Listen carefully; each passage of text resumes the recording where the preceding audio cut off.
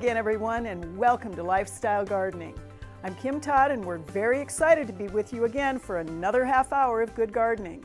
We've got a great program for you today as we'll be featuring tips on cleaning up your garden in the fall, an interview with Dave Titterington focusing on wild bird seed, and we'll also answer a few of your gardening questions later in the show.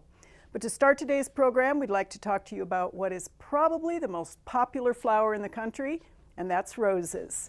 You can see them in just about every public, private, formal, or informal garden. Let's take a minute to introduce you to roses.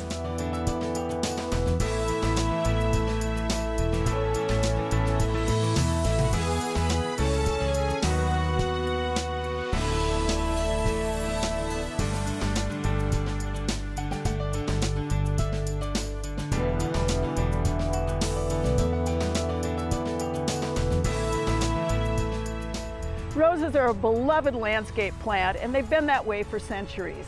Whether you love the ones that climb on the trellis and remind you of your grandmother's garden, or the ones that come 12 in a box at Valentine's Day, or perhaps even out of your own cutting garden, or the ones that are shrubs that can be used in the landscape in a multitude of ways, they become a great addition if you know how to choose them, how to plant them, how to manage the insects and pests, and more importantly, how to choose what you love. Classification of roses can sound pretty complicated. Everything from species roses to rugosa roses, modern roses, shrub roses, grandifloras, floribundas. But let's start talking first about the modern shrub roses. They are a great addition to the landscape, again, if you want that color, if you want long season of flowering, perhaps even the complement of hips that would take you into the winter months. The modern shrub roses oftentimes are very complex parentage. They were first selected and bred for their hardiness, and that's a very important characteristic of the modern shrub roses. Many of them are on their own root, which means they may die to the ground in the winter, but they won't die entirely. They have been bred oftentimes for very clean foliage. Perhaps they're dwarf with multiple flowers, little tiny flowers. The, the range can also be very big, fully double. The rebloomers, such as the Knockout series, is a kind of a classic of the modern shrub roses. That doesn't mean they're disease, uh, completely disease resistant, but they are disease resistant. That clean foliage is a very important part of the modern shrub roses. Again, they can be fully double, they can be single roses, they can have a light fragrance. They don't typically have the very deep, old-fashioned rose scent that we think of with other types of roses. A key thing to keep in mind for them though, however, is they really are a shrub. We don't take them to the ground prior to the winter months because that can hurt the hardiness. But they also look just great in the landscape if you combine them with the grasses, other perennials, even shrubs so that they, they can give you that layering effect in the landscape between taller material and shorter material.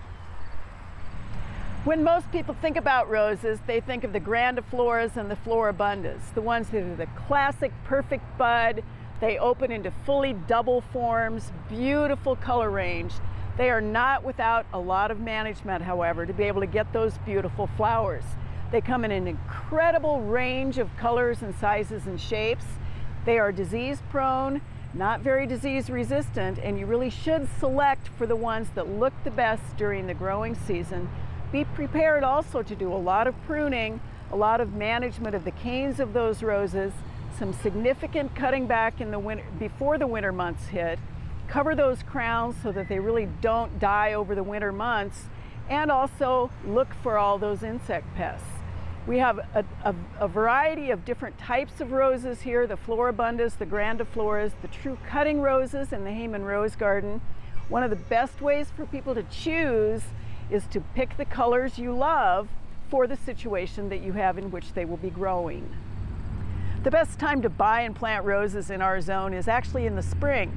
So take advantage of thinking about all that wonderful beauty and scent and smell you might want in your own landscape.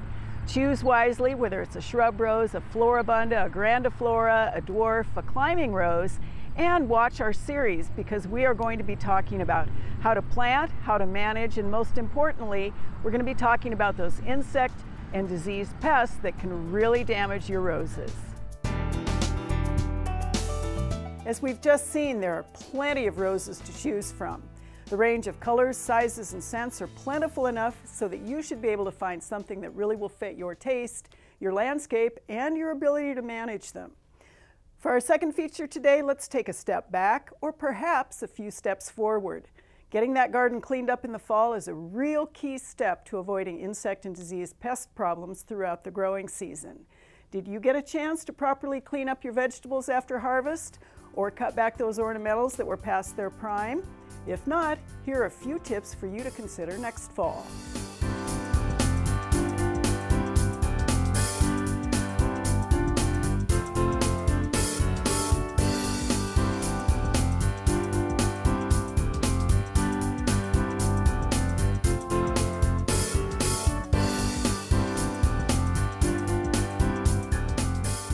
Since Backyard Farmer ends so early in the fall, we really don't get much of a chance to talk to you about why sanitation in the garden is such a great idea. We're going to take a look around our garden and see just exactly why we're doing the cleanup and what difference it's going to make when we come to next spring season. We always tell our viewers that one of the best things you want to do is choose varieties that are as disease resistant as possible. With tomatoes, depending on what you're after, you may end up with heirlooms that are pretty disease prone. You may end up also with tomatoes that are really disease resistant, but they grow like a jungle, and they might even continue producing until the first hard frost. If you leave that debris stand, however, you have all sorts of potential problems next year, whether it's the blights of tomatoes or whether it actually harbors all sorts of insects. The other thing that happens is if you leave that rotten fruit on the ground, you can end up with vertebrate pests that can oftentimes be a problem in the garden anyway. So what you're going to want to do is pick off as many of those tomatoes as you can possibly harvest and eat, clean up the debris, get rid of the vines, pull the roots out of the soil, and then ideally get that soil ready for the next spring. Tomatoes are also one of the crops that you want to make sure you can rotate if at all possible because a lot of the diseases that they do carry can be transmitted in the soil. One of the real interesting things that we have to clean up is of course our squash and pumpkins and watermelons if you're so lucky as to have watermelons. During the season we talk a lot about squash vine borers, cucumber beetles, all those little insects that can get in there and ruin the vines, ruin the crop, cause gardeners heartache when it comes to actually getting a crop. You can see the debris on the ground under the leaves of our pumpkins and while we have a great crop of pumpkins themselves, we're going to want to make sure we get all of this debris cleaned up, not only so that it doesn't harbor the eggs of those insects, but we also had some diseases in the foliage this year. This is another location where ideally we're going to do a little bit of rotation of crop if at all possible. Know full well that since we do not spray up here, we probably are going to have vine borers and squash beetles again next year. You may have put in some cool season crops very early last spring, and if you're lucky, they are still producing. This is the Artworks broccoli, which is one of the All-America selections. We actually didn't do the harvesting the way we probably should have, but what this is supposed to do is produce very tiny, small heads as opposed to the giant ones. The cool season crops can go later into the season, and some of them actually increase in flavor after a hard frost, such as Brussels sprouts. That also means that if you're going to do good garden cleanup, you might be doing it in stages pull these out later, allow them to complete their cycle, and then get ready for next spring. If you put in cool season crops this fall, you may or may not have had good success, and if you didn't, especially if you're working in a raised bed or in a location where you've done other plantings like this before, you might want to consider going ahead and doing some pretty significant soil amending before next spring. The material you cut or remove from your garden in the fall for cleanup can be put in the compost pile as long as it is pretty disease free and especially if you have built a compost pile correctly so that it will get hot enough to kill the diseases and kill most of the insect eggs. This is a great example of one of the compost piles that we use in the backyard farmer garden. We lift these sections off, our master gardeners turn it, then we can actually spread that material on the garden either later this fall or in the spring and it helps enrich the soil and gets rid of all that debris without taking it to the landfill. Be aware, however, also that if you're in a location where all of those voles and ground squirrels and other critters that Dennis Ferraro talks about on the show make the garden their home. They absolutely love going up into the warmth of that compost pile. You might pull the top off of that and discover that you have a bitty family of rodents living in there as well. Voles and other critters need food and shelter during the winter months. So take that into consideration when your harvest is over and it's time to do some of those chores. Make mental notes as to where you planted vegetables and consider rotating their growing spaces next spring. Good sanitation in the fall goes a long way to a healthy, vibrant garden in the spring and summer. Speaking of feeding critters, a lot of people like to make sure the birds are taken care of in the cold by setting up bird feeders in their backyards. There are plenty of feeders and seed available on the market, but which ones are the right choice? We recently talked to Wild Bird Habitat owner Dave Titterington about his recommendations to help those beautiful birds make it through the winter.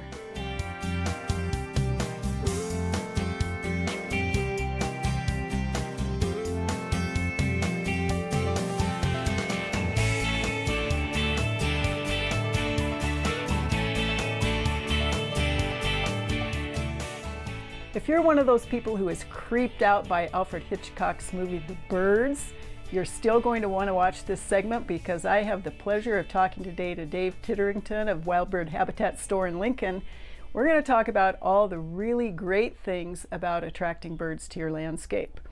Dave, if people really want to attract birds to their landscape, I'm assuming there are a lot of pretty simple things that they need to begin with. Can you elaborate on that a little bit for our viewers? Well, primarily there's about six different basic bird feeders, and those feeders attract different species of birds. So you want to consider the type of bird feeders that you have. You also want to consider the type of seed that you put in those feeders. Um, birds come to elevated feeders primarily for the nut meats because they're high in fat, high in protein. Um, you don't want to fill those feeders with a lot of seed that's got the small white millet in it.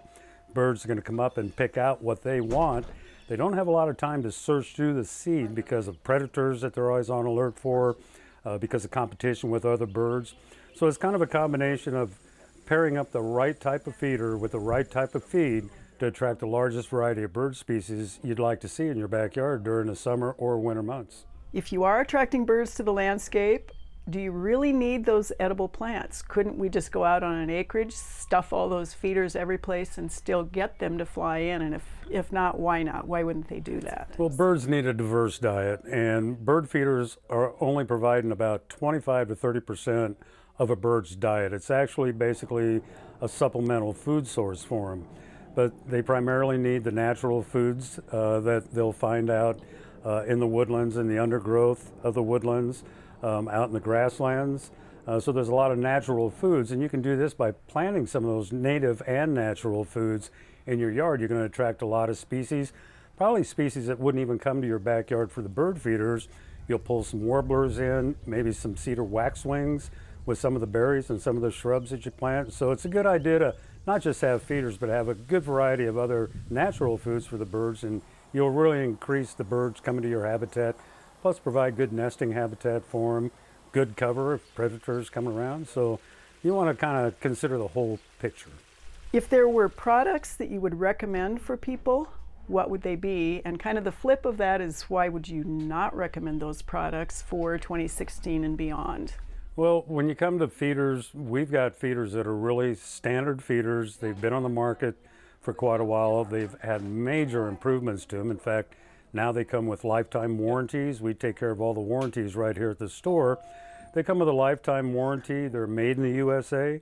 Uh, they're proven to be successful, whether it's a platform feeder, seed tube feeder, Niger thistle feeder, uh, hopper feeder, any of the basic feeders. And we have some different variations of those feeders, but we want to make sure we give uh, our customers a really quality product, preferably made in the U.S uh, something that's going to withstand the elements because they are outdoors and something that we can repair if something goes wrong with it. So there are a lot of new products on the market. We kind of scrutinize those products to make sure they meet our standards before we put them up for uh, customers to view and purchase. We get the question a lot from people about how in the world do I keep all that seed from germinating under my feeder? And then, of course, the voles come in and everything else. So how can they keep that from happening? Well, there is going to be a certain amount of sanitation you're going to have to provide if you're going to feed birds in your backyard. It doesn't take a lot of time.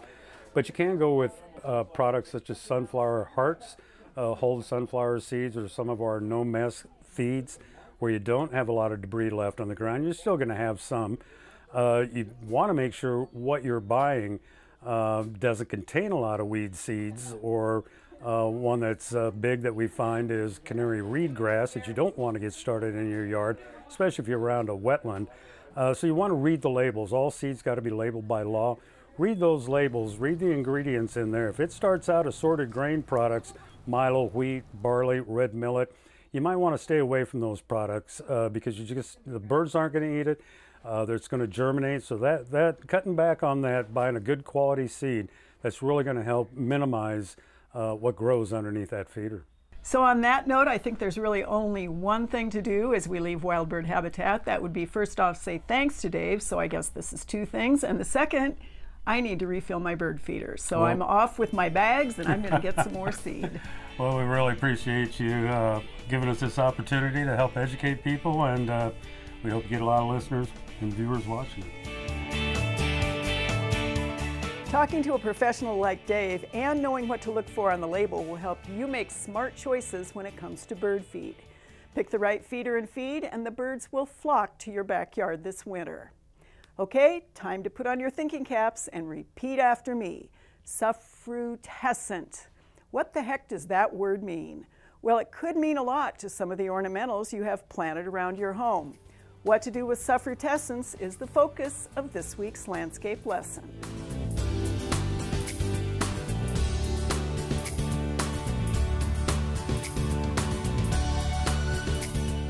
We often use words in scientific language that are pretty complicated and have sort of obscure meanings, but when you come right down to it, they're pretty simple.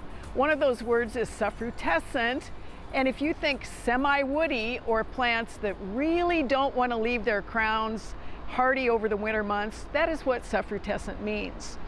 One of the reasons that's an important term to understand is we have a handful of plants in the, in the plain states that do have that habit.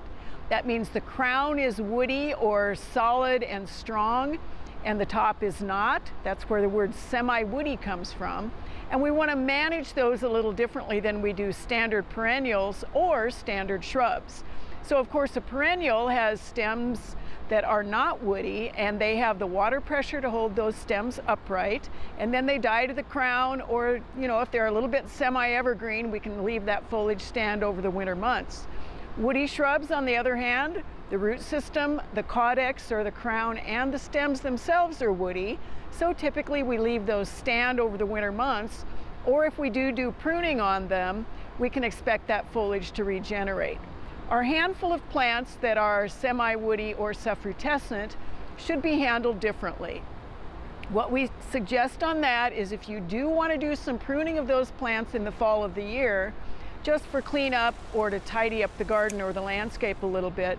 Do not take those all the way back down to the ground or down to four to six inches above the ground.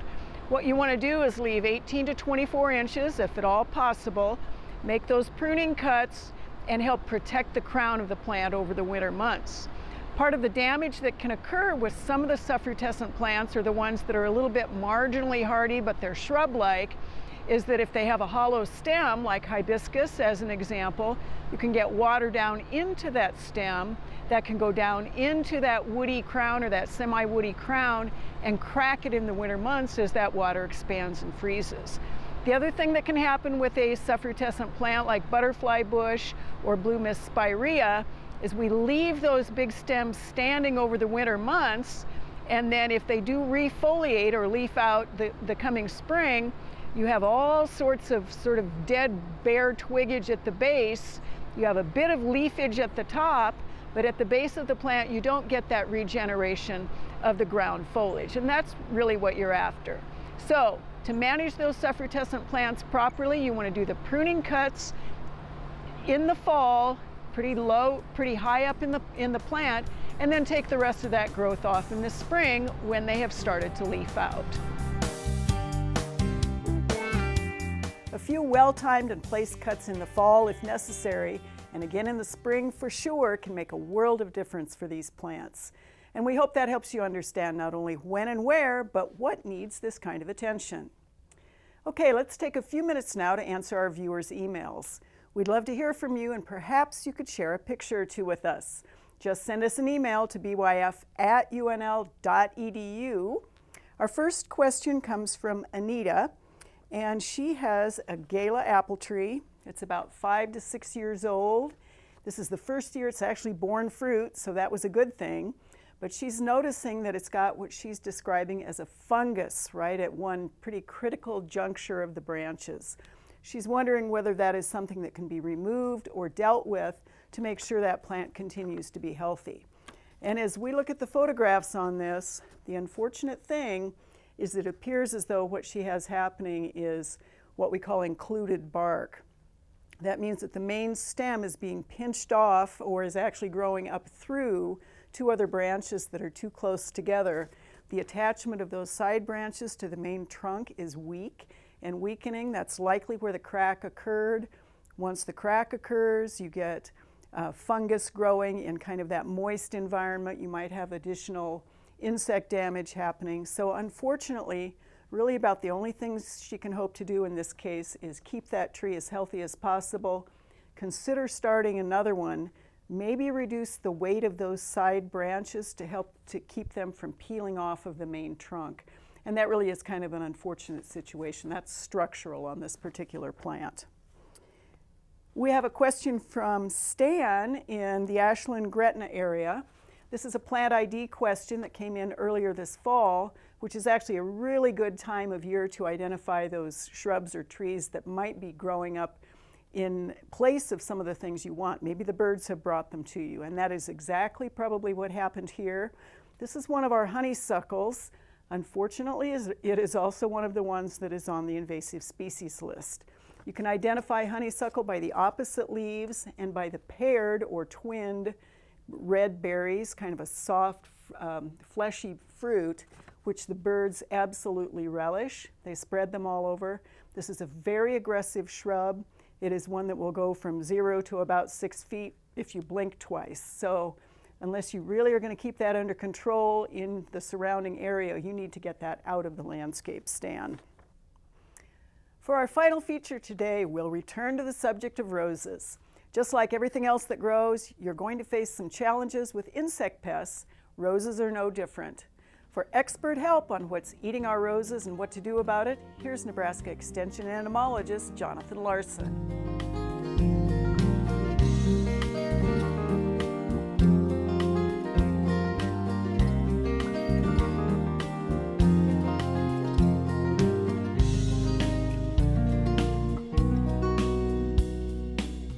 Today we're going to talk about roses. Everybody loves these beautiful plants. They're the symbol for love. Everybody likes to take care of them and make them look pretty. And unfortunately, we do have a few different kinds of pests that can get on these beautiful plants. We have a few different kinds like thrips. We can also experience problems with Japanese beetles. We can see problems with aphids, as well as another pest known as the rose slug. And these all attack different portions of your rose plant. If you are concerned about thrips, you're going to be looking in the flower area. That's where they like to infest. There's a couple of different kinds that you can encounter, but the most common one is the western flower thrips, and they infest up here in the petals. And what you'll notice with these insects is small, very tiny, very tiny creatures moving around in the petals. They're almost indistinguishable from just dust. It's very difficult to see them. You almost need a hand lens to take a closer look at them. Symptoms of thrips are going to include looking for the damage that they cause with their interesting mouth parts. Their mouths are half sort of piercing and half slurping. And so they will puncture the petal of the rose and leave a little puncture mark. And then as they slurp those fluids up, they leave behind speckling damage or stippling damage on the petals. You may also notice their fecal material. It's usually shiny and black. It looks like somebody has flecked motor oil into the, the petals of your flower. If you want to control these thrips, you can go out with a product like Pyola. You could also use neem oil or spinosad. The only warning I would give you with spinosad is to apply that maybe in the evening time uh, when the bees are not flying around the plant, and that way you can protect those important pollinators, but remove the thrips that you don't want around. With that, we'll move into the stem of the plant. That's where you get aphids. Everybody's experienced aphids on their different kinds of plants. The symptoms that they can leave behind are again stippling as well as piles of honeydew that they leave behind. Their fecal material is sort of a sticky, gross substance that builds up on the plant.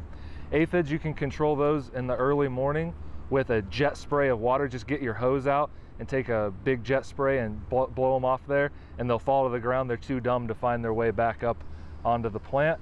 You could also try spinosad or neem oil for those as well. If you go to the leaves of the plant, you can experience two uh, distinct pests that will infest those areas. The first one is the Japanese beetle. It'll also attack the petals of the plant and it'll shred those into a fine powder. If it's feeding on the leaves though, it'll leave behind skeletonized, doily looking leaves on the plant. These are big orange and green uh, beetles with white spots on their butt. You can control these with a lot of different kinds of products. You can treat the leaves with carbaryl. You can treat them with bifenthrin.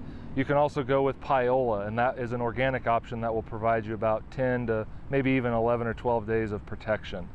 If you're going to try and treat the beetles in the flower portion of the plant, I would again caution you to treat at night so you avoid interacting with the bees that are visiting your roses, but you'll be able to have that product dried and the residues will be there to protect the petals from the Japanese beetle. The other pest on the, the leaves that you can get is called the rose slug, and that's a bit of a misnomer. It's not a slug at all. It looks sort of like a caterpillar, but it's actually a baby wasp. And so the rose slug will feed on the top and bottom parts of the rose leaf. They will scrape it away and they create this window pane damage in the leaf. You can almost see through it after they've removed several of the layers on the leaf. As they get bigger, they'll feed all the way through the plant and they will create skeletonizing damage as well. Those again can be controlled with just about any of the products I've mentioned before, neem oil, spinosad, Pyola. Those are some of the more organic options. Or you can go with strict insecticides like carbaryl or bifenthrin. That's how you can protect your plant, keep them looking beautiful so you can have these nice roses out in front of your house. I hope that helps. Just keep your eyes open for these pests and you'll be able to control them. First step in control is keeping a sharp eye on your roses. And if you do find something causing a problem, Jonathan mentioned both traditional chemicals and some IPM natural controls as well. Thank you so much for joining us again for Lifestyle Gardening. Next time we'll be showing you some beautiful ornamentals for fall color and we've got a fun feature interview on millet. So good morning, good gardening, thanks for watching and we'll see you all next time on Lifestyle Gardening.